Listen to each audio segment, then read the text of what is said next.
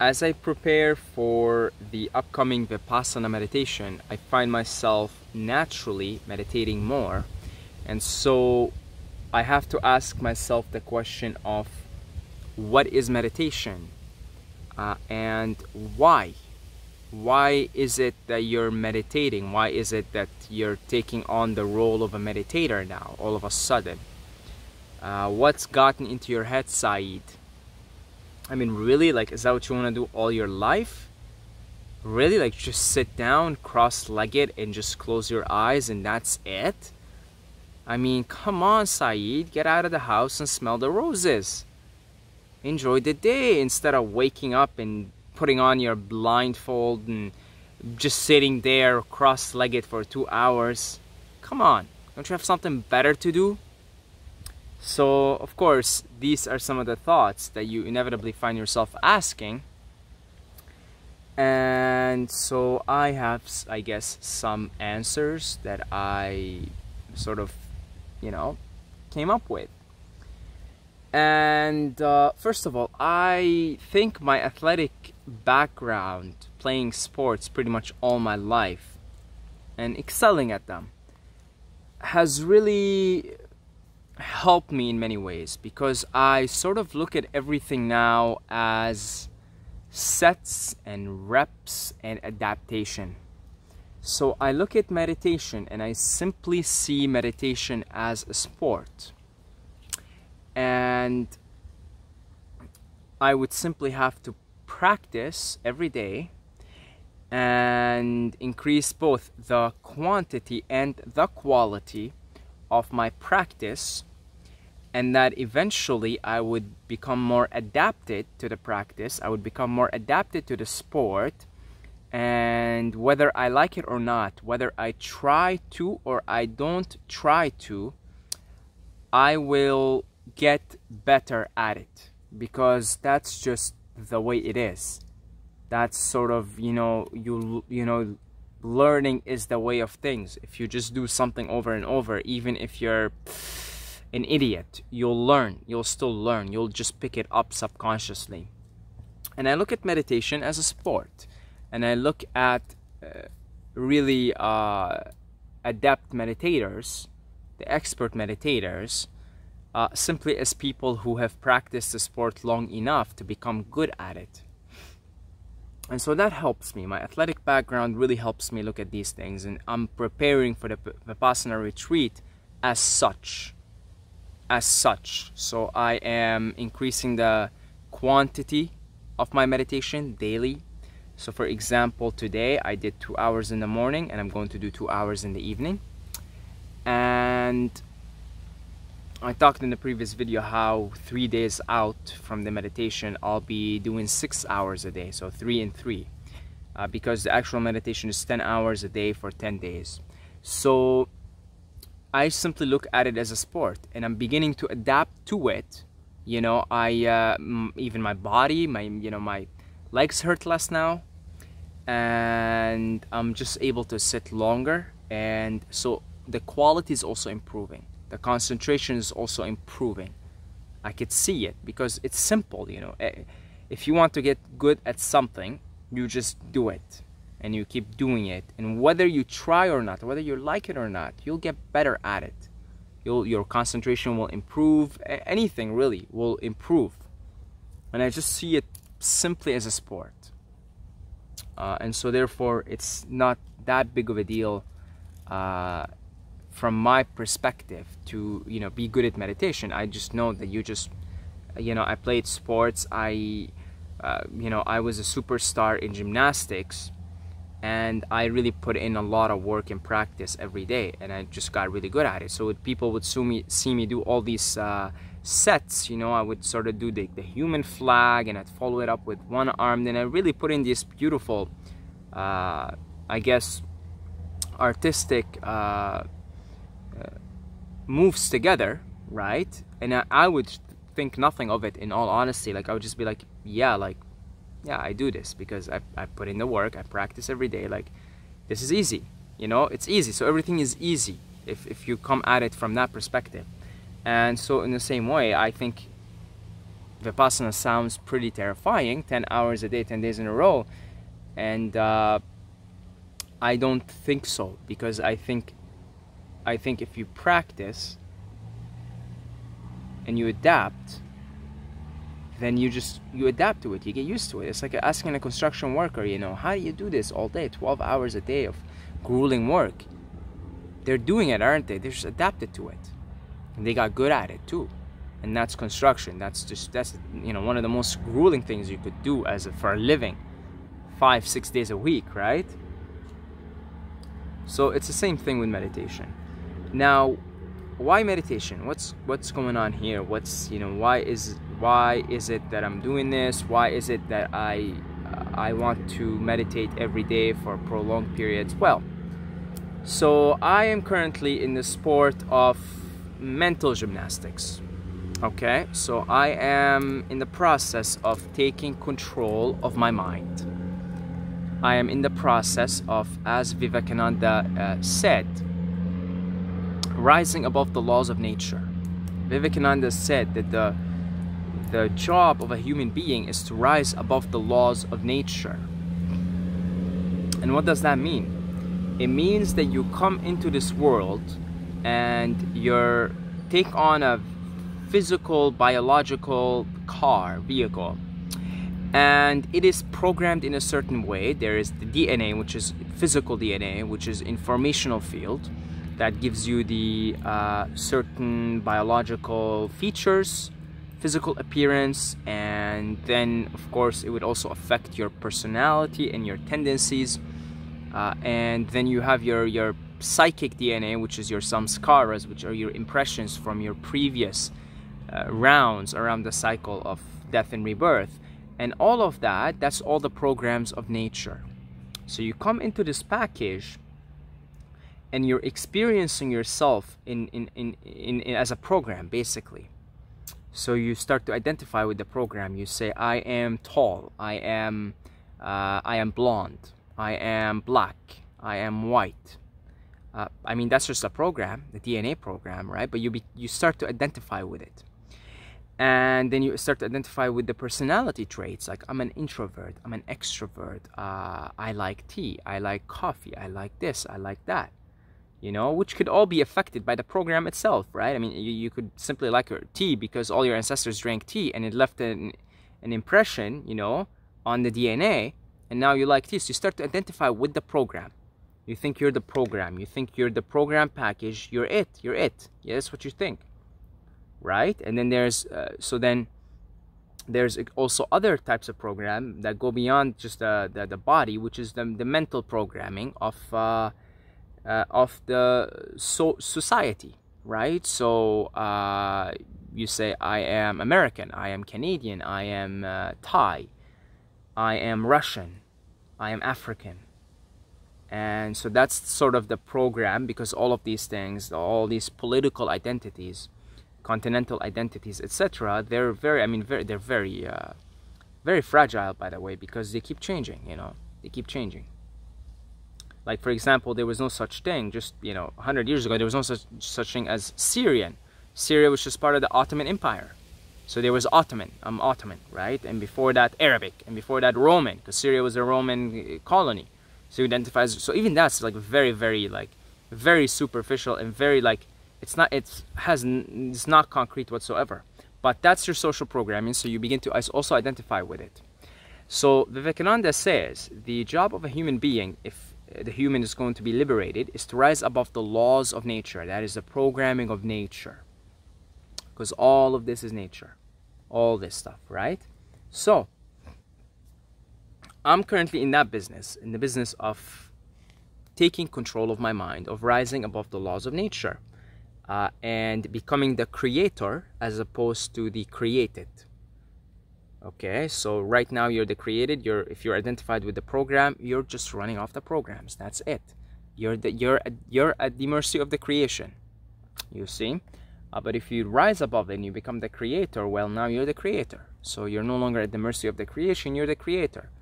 And if you would like to create something because you know you experienced the previous creations and you just didn't find them all that interesting because remember everything is an experience uh, you say, well, I'm just going to change the creation. I'm going to just create something different.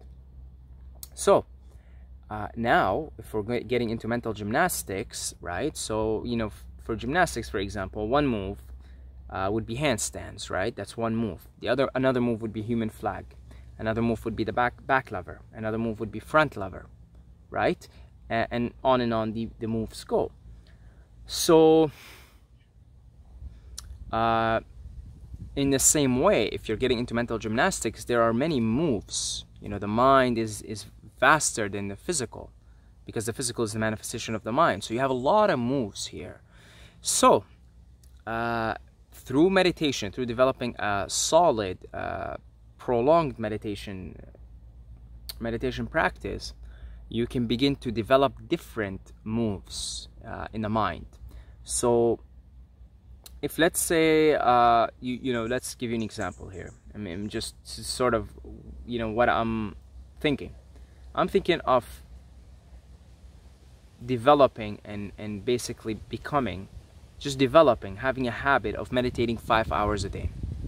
Five to six hours. So let's say two to three hours in the morning two to three hours in the evening as just as a lifestyle. Okay? So why that much in like why? That's a lot of time. Why? That's because I want to develop all the different moves. I know if I spend more time and I know if I if I, if the quality of that time you know is enhanced and I'm adapted to the practice of meditation which means I'm you know I'm, I'm better at it I can develop different skills. So for example say one day say let's say today uh, I want to develop the skill of concentration. Just concentrating on something so I would sit in the morning for two and a half to three hours, two hours to three hours, let's say, and I would just simply take out an object, any object, it could be my hands, and I would just look at my hands for two hours, or three hours, let's say. And then I'd come back in the evening again, and I'd look at my hand for three hours. Okay, so this is the equivalent of me training in the gym and, uh, you know, doing wall handstands. Okay? Now, I'll be a little sore tomorrow, and maybe the next day even so maybe tomorrow I won't do that. Maybe I'll develop something different. You know like if I did handstand wall handstands because I'm practicing to do freestyle handstands uh, then I would uh, I would be sore for the next day or two. So maybe tomorrow I'll do something else. You know maybe tomorrow I'll do a front lever because the front lever uses you know sort of different muscles and so you know I could play around with that plus i might get bored. I'm like i don't want to stare at my hands two days in a row. So you know you give yourself a little chance to adapt to the practice to learn whatever you learn because you're learning and you don't know what you're learning. A lot of it most of it is subconscious. Then maybe the next day i'll come in and say well today i feel like developing uh, the practice of uh, focusing my attention on a particular part of the body so the next day you put on the blindfold and you say, well, okay, today I'm just focusing on my third eye. And you just do your best for three hours in the morning, three hours in the evening to just practice on your third eye. You just focus on your third eye. Of course, it's going to be hard, you know, you're going to have a lot of thoughts, going to be this, but you just always come back to your third eye because you really want to develop the practice of focusing on one thing inside your body, inside of you, okay? So, you do that also, and then the same thing uh, maybe the day after you want to do something different. So you come back because there's a lot of skills. You come back you say well how about astral travel? That sounds pretty groovy. Uh, so then you know you get in your meditation and you uh, try to calm your body down enough. Maybe this time you don't sit you lay because laying in my experience is easier for astral travel. Uh, so maybe you lay and then you know you try to you know calm your body do use a certain technique that you learned and that that might get you out of your body. And now you're traveling in the astral plane then you come back the next day, say, well, I, I'm going to do the concentration again today. And you do that. Then there's, I mean, there's an endless amount of skills. Then you get really good at these, all these skills and you say, well, I want to take it to the next level. Uh, I want to start practicing, uh, and then, you know, maybe one session could be visualization. I mean, if you're visualizing six hours a day, something particularly in your life that you want to improve, you probably manifest it pretty quick. So you could play around with it every day, just like you would play around with, say, if training for gymnastics, you do different moves every day. You wait to, to heal, you know, to the, the soreness to go away and the muscle to get stronger, so you could come and do the practice better, right? And then you know you like I'm gonna take it up to the next level, man. I'm gonna start reading the Akashic records here. Right? And you start to sort of learn some techniques and you begin to imp- implement them in the meditation. You say, well, I want to do psychokinesis now. I want to move things with my mind because maybe you've been for a year practicing concentration and now your concentration is really, really good. And so now you feel ready for the next move, right? Like first with gymnastics, with calisthenics, you know, you start with just pull ups and push ups. And you feel really good. I mean, that's how it was for me. I just felt like oh, I could do push ups and pull ups endlessly. Let's move to the next move so maybe you could now concentrate on an object endlessly and you say, well, let's try and do psychokinesis, telekinesis, moving things with my mind. And on and on and on it goes. On and on and on it goes from here. You understand? So that's how I'm looking at it. I'm literally looking at it as a sport, as mental gymnastics. And it's a vast, vast field. There are many, many skills. Natural, you know, these are all natural abilities of the soul. These are the skills of the soul okay? So you're just remembering. It's all the meditation is a process of remembering uh, your your natural innate abilities as a as a soul right? Uh, and and yeah that's uh, that's pretty much how I see this. Now of course maybe one day you want to meditate like just watch your thoughts. You know you see how what I mean you could also do like three hours in the morning, I'm just gonna stare at something. And then you say three hours in the evening, I'm gonna just observe my thoughts. You could play around with it so many different ways, right? So many, so many different ways. And uh, that seems to be the sport that I'm getting into at the moment. You know, that, that I've always been a sort of a, a sporty fella, right? Always playing some kind of a sport. I like playing, um, you know, I'm, I'm playful and uh, this is the game that I that I'm playing right now that I, I want to play. This I mean I don't know what else to play at this point. I played many games. Uh, and it seems that now at this part of this character's uh, movie script storyline the game that is pulling this character into it uh, with a burning fire with a burning desire uh, is the game of mental gymnastics, aka meditation. Now, another definition for meditation is that it is also rising above the illusion to come back and play in the illusion. It's the same thing as saying instead of becoming the created, instead of being the created, you're the creator. Because all of this is an illusion. You see? Uh, and with meditation, you're rising above the illusion. You're watching it, first of all. So you're no longer identified with uh, the illusion, with the creation. And from that perspective, you could play within the illusion because you're not identified with it. So you could change it with your mind. But if you're identified with it, you're bought into the illusion. You think it's this is real. You think I'm totally bound by the laws of physics and the laws of, of nature. Right? I mean, that's why not like, you know, yo, yo, Tibetan yogis, you know, there's many stories of Tibetan yogis who, you know, routinely levitated because they're not bought into the illusion. They transcended the laws of nature.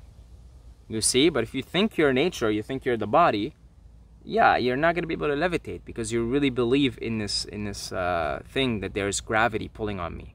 You really believe in it. You're identified with it. The belief system is so strong. You can't you can't fly. But if you totally transcend it, is when the magic begins to happen. That's how Wim Hof is able to uh, keep himself warm in in minus uh, in icy conditions basically for, for forever. Because he transcended the laws that say that human body in uh, icy conditions is going to go into hypothermia and is going to freeze. Uh, he transcended it. He no longer believes it and then he's able to concentrate on becoming heat. He learned the tummo, tummo meditation technique which you become heat essentially. And if you're heat i mean what's ice going to do to you? You're heat. You're fire not going to do anything. So that's how the, some of these uh, people, which are many, many of them are alive right now. Wim Hof is just an example that most of you guys are familiar with. Uh, David Blaine, you know, that's how a lot of beings alive right now. We don't have to go in and say Jesus walked on water. They, these beings are in front of your eyes right now. That's how they're able to do what they do. That's how they're able to seem to be supernatural, to seem to be superhuman, when in truth, they've just learned how to rise above the laws of nature. I guess thus making them superhuman, but only from the perspective of a human, only from the perspective of somebody who's completely bought into the illusion, completely, completely bought into the game, completely bought into Maya as the only reality. When in the truth, Brahman is the only reality, all else is an illusion. So then this is an illusion, and so this is play. It's all play. This is play the play of, of the divine and Uh, you forget yourself but once you remember yourself you become the creator again. So if there's something in your creation you you know you experience something and you say okay i experienced this. I just don't want to experience it anymore. You could change it right? And and you know i mean if you begin to really develop all your mental gymnastic skills i mean you know you you would be you would be a very powerful being. You really would be very a very powerful you would develop a lot of siddhis a lot of powers uh, and you know you would also uh, experience more oneness and more love and more joy because in order for you to manifest some of these things you would have to go into that space of love and oneness and unity and aloneness all oneness right? So so that's meditation. That's why i am sort of playing this game right now because there really is no other game to play at the moment for me. I mean, you know, I what else am I gonna play? You know, for me, even at the moment, the game of nature, right? Admiring beauty in nature, looking for the most beautiful places. I've done this game for a while, and uh, I still do it. Still come to these beautiful places, but uh, again, the game that I'm pulled into, it's the game of meditation, of going within, of becoming the creator, and not being caught into the illusion, not being caught in the game uh, so that I could come back and play within the illusion, play within the game, and become the creator as opposed to, to be just the, creation. Okay, because uh, you know one is a position of power and the other is powerlessness, essentially, right? So that's meditation in a nutshell. That's meditation in a nutshell. Think about it like a sport.